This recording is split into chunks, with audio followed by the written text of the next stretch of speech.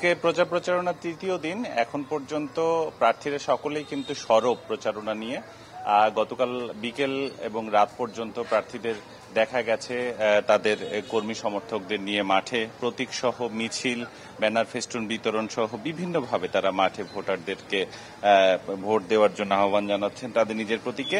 এখন পর্যন্ত রাজশাহীতে চারজন মেয়র পদপ্রার্থী রয়েছেন, যাদের মধ্যে আওয়ামী লীগের খায়রুজ্জামান লিটন নৌকা প্রতীকে, জাতীয় পার্টির সাইফুল ইসলাম স্বপন লাঙ্গল প্রতীকে, জাকের পার্টির লতিফ আনোয়ার গোলাপফুল প্রতীকে এবং ইসলামী আন্দোলন বাংলাদেশের মুর্শিদ আলম হাত পাখা প্রতীকে। তাদের তিনজনকে মাঠে দেখা গেছে। একজন যিনি জাকের পার্টির লতিফ আনোয়ার, তিনি এখন পর্যন্ত রাজশাহীর বাইরে রয়েছেন, ফলে খুব একটা মাঠে দেখা যায়নি। তবে তিন দিনের মধ্যে তিনি প্রচার প্রচারণায় নামবেন বলে জানিয়েছেন।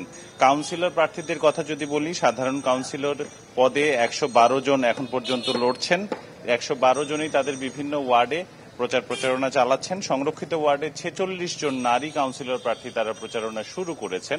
এরই মধ্যে তবে এখন পর্যন্ত আচরণবিধি ভঙ্গ কিংবা একজন আরেকজনের বিপরীতে কোনো ধরনের অভিযোগ, এসব কিন্তু আমাদের নজরে আসেনি কিংবা নির্বাচন কমিশনেও কোনো অভিযোগ যায়নি।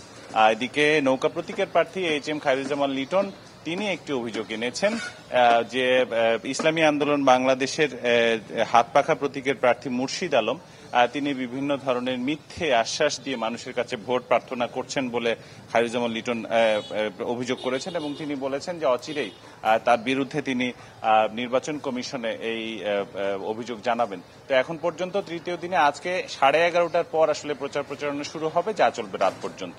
এ ছিল আমার কাছে। ধন্যবাদ আপনার যেতে চাই সজল ছত্রীর কাছে। সজল, অভিযোগের প্রসঙ্গে আসি।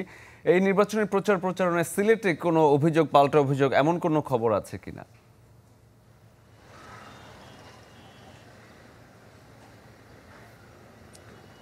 সিলেটে কিন্তু প্রথম দিনে যেদিন আসলে দু তারিখ প্রতীক বরাদ্দ হয়েছিল, সে রাতেই জাতীয় পার্টির যিনি প্রার্থী, তিনি দাবি করেছেন যে তার একটি ওয়ার্ডে একজন কর্মী লিফলেট বিতরণকালে ছাত্রলীগের কিছু নেতা কর্মী তাকে বাধা দেন এবং তাকে আহত করেন। তিনি এই অভিযোগ করেছেন। যদিও তিনি আনুষ্ঠানিকভাবে কোনো অভিযোগ জানাননি, কিন্তু বেশ জোরে সুরে তিনি বলেছেন যে কাল তিনি বক্তব্য দিয়েছেন যে আওয়ামী লীগের প্রার্থী পেশি শক্তি ব্যবহার করে নির্বাচনের মাঠে প্রভাব বিস্তার করার চেষ্টা করছেন বলে তিনি দাবি করছেন। তিনি বিভি- বিভিন্ন ওয়ার্ডেই তার যে কর্মী আছে তাদেরকে বাধা দেওয়া হচ্ছে বা ভয়ভীতি প্রদর্শন করা হচ্ছে বলে তিনি দাবি করেছেন।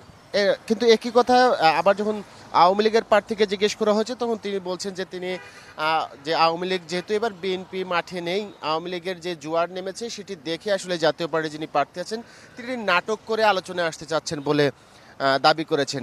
একইভাবে ইসলামী আন্দোলনের প্রার্থী যিনি মাহমুদুল হাসান, তিনিও দাবি করছেন যে লেভেল প্লেইং ফিল্ড থাকছে না। তবে আনুষ্ঠানিকভাবে কোনো ধরনের যে যে বাধা দেওয়া বা সহিংসতার বা এ ধরনের কোনো অভিযোগ কিন্তু এখনও নির্বাচন কমিশনে জমা পড়েনি। যদিও কিছু নির্বাচন বিধি আচরণবিধি লঙ্ঘনের কারণে জাতীয় পার্টি এবং আওয়ামী লীগের প্রার্থী, দুই প্রার্থীকে এটির প্রতীক বরাদ্দের আগেই কিন্তু নির্বাচন কমিশনের পক্ষ থেকে তাদের তাদের নোটিশ করা হয়েছিল যে তারা যেন নির্বাচন আচরণবিধি মেনে চলেন এবং জনগণে বিরক্ত হয় এ ধরনের কাজের উদ্যোগ না করেন।